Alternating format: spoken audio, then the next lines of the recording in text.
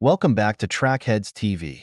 Today, we're diving into the remarkable achievements of Grant Holloway, who once again showcased his brilliance at the Paris 2024 Olympic Games by winning gold in the 110-meter hurdles with a time of 12.99 seconds. This victory further solidifies Holloway's status as one of the greatest hurdlers of all time.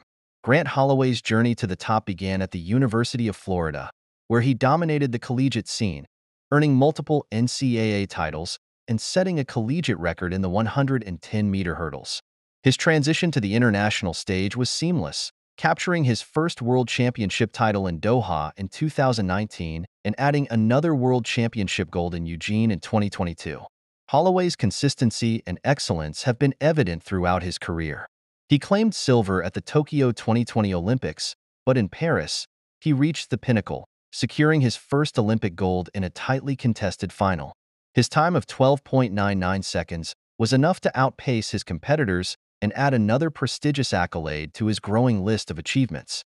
Beyond his Olympic success, Holloway holds the American record in the 110-meter hurdles with a personal best of 12.81 seconds, set in 2021. His exceptional speed, technique, and mental fortitude have made him nearly unbeatable in his event.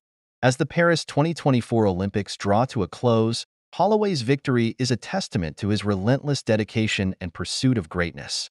With his latest gold medal, Grant Holloway continues to inspire the next generation of athletes and cements his legacy as a true legend in track and field.